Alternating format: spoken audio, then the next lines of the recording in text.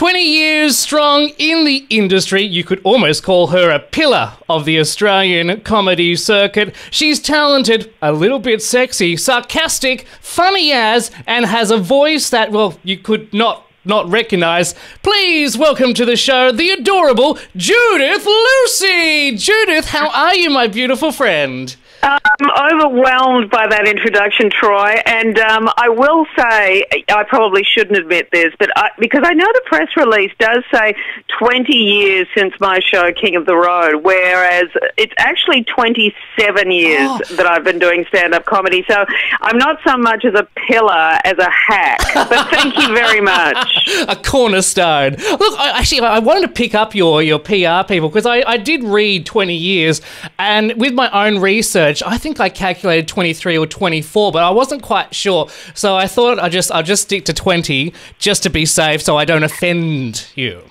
Oh, I am so beyond being offended at this stage of my life, Troy, really. I, I, in fact, don't know what you could possibly say that would offend me, but, you know, feel free to try. Oh, look, I, I, was going to say, that sounds like a challenge, Judith. It sounds like a challenge, and I, I will endeavour to do that somehow uh, in this interview. If I get a hang up. yeah, th- that would be great, although hanging up is nowhere near as satisfying as it used to be. I think, was it Seinfeld that did a routine about that? Because now all you get to do is press a button. Whereas, you know, in the good old days, you could slam down a receiver, which oh. I can't really do. But anyway, let's yeah. see what happens. You can give a good firm pressing of that iPhone button. and, or, and I could just start swearing at you. That could happen too. Hey, look, we, we can do that here on this show. It's it's all it's all allowed. Really? Yeah. Oh, you drop whatever bomb you want. So I could just say, well, fuck you, Troy, and hang up. And I'd say, fuck you, Judith, and uh, continue with the interview. and this is breakfast radio. This Why wasn't I allowed to talk like this when I was on Today FM? It oh. could have been a whole different story. That's because you, you, you're governed by the broadcasting laws of Australia, whereas on internet radio, uh, where we broadcast to the world, we don't have to abide by stupid rules like that.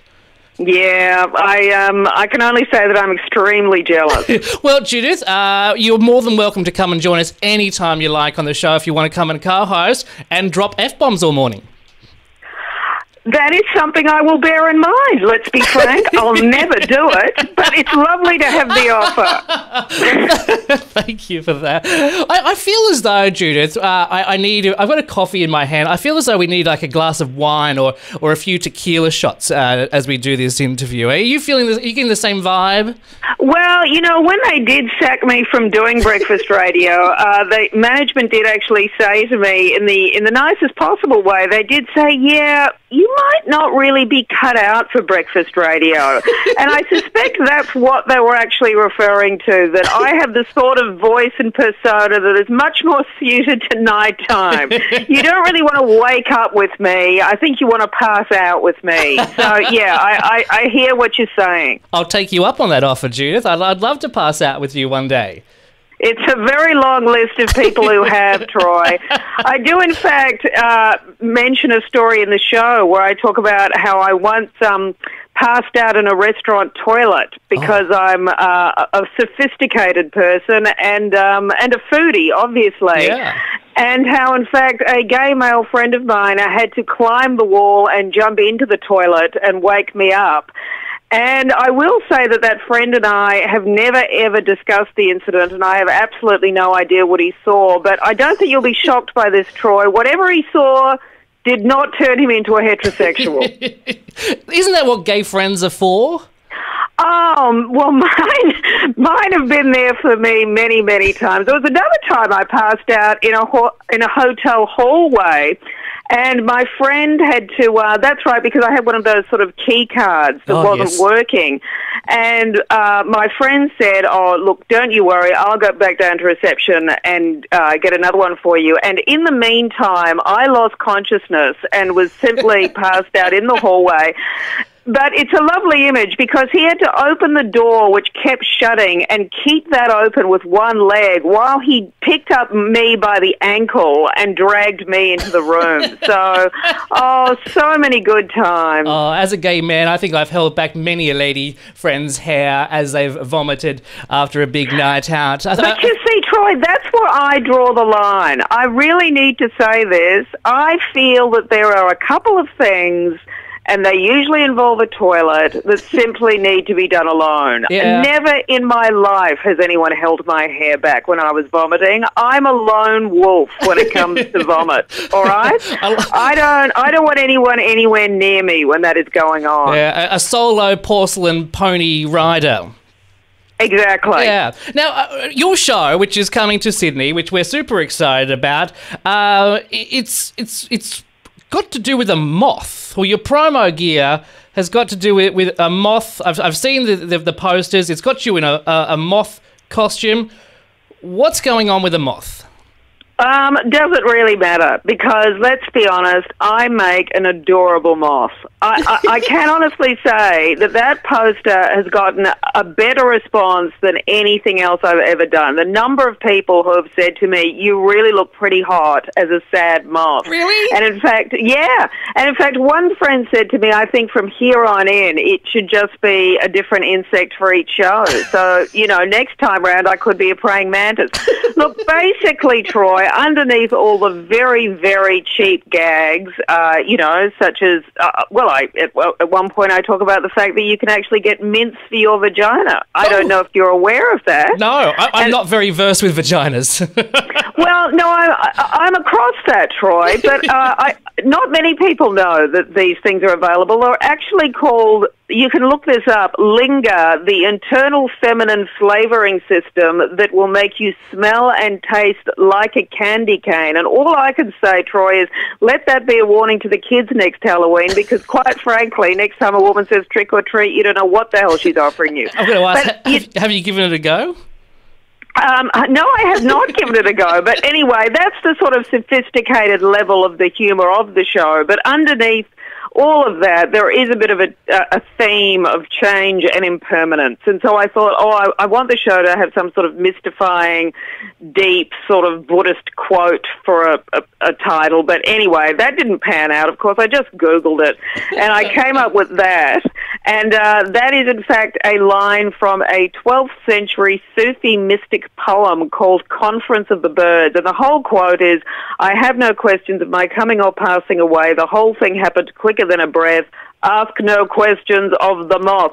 So that's how I got the title. And then my manager said to me, well, you know, uh, he also manages Sam Simmons, who you may or may not remember, had a show on the ABC a few years back, and there was a recurring moth sketch that involved Susie Porter and Gary Sweet.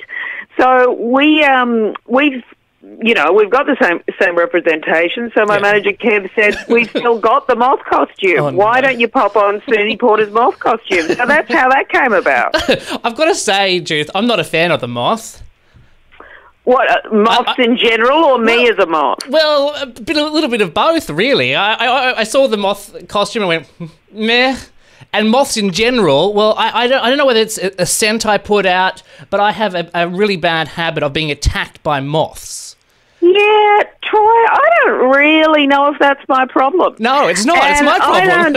uh, yeah, it is your problem. And I- I've got to say, Sydney, it's the last bunch of shows I'm doing, so Yeah. I'm sort of beyond caring whether you like me in the moth costume or not.